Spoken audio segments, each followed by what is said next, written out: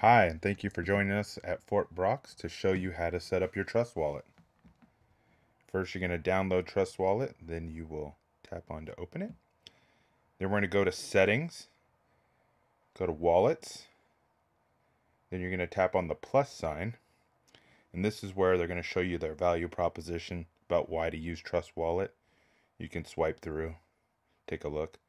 So we're going to create a new wallet.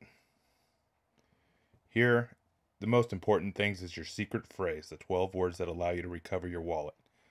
So you're going to select each one of these, showing that you've read each one. And these are important. Click continue. Now, for privacy purposes, we're not showing you what this looks like, but you're just going to want to hit copy or write this down in this order. I can't be any more diligent about telling and letting people know you really need to make sure you keep this safe and you keep it somewhere you can find it.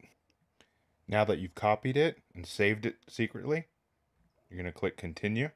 Then it's going to ask you to verify your secret phrase.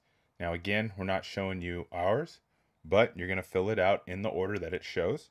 Once you fill them out in the order that you were supposed to, you're going to click continue.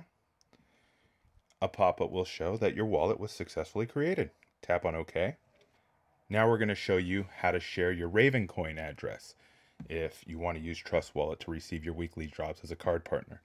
You're going to go to the top right, tap, and you can search or you can scroll down and you will see it right there. Select it where it's green, click on done.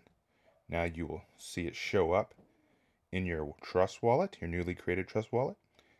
Tap on Ravencoin Tap on receive.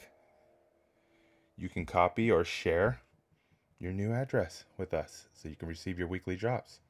Thank you so much.